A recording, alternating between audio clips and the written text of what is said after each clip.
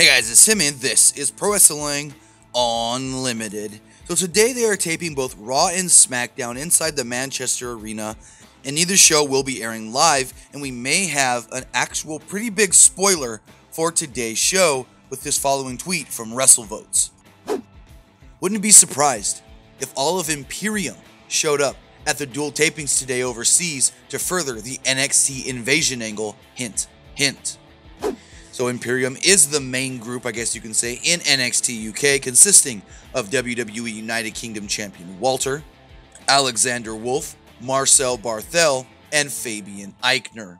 They're basically the big heel group of NXT UK, and I didn't really think that we would maybe really get much NXT UK involvement in this NXT invasion angle leading up to Survivor Series, but it looks like that is something that is very possible.